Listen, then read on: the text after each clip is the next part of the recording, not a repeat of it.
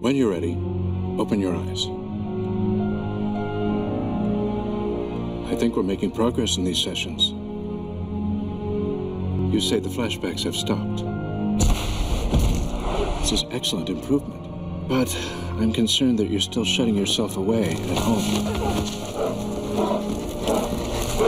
It's important to gradually take steps into the outside world. Take some walks. Maybe pick up a nice hobby. A girl your age. You should be exploring new horizons. I'd like to know you're taking care of yourself. For many people, these traumas become a mental trap. They get stuck like a ship frozen in ice.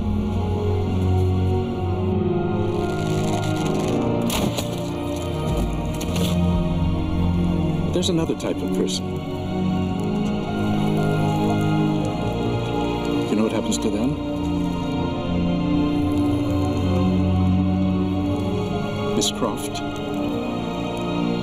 We become who we're meant to be.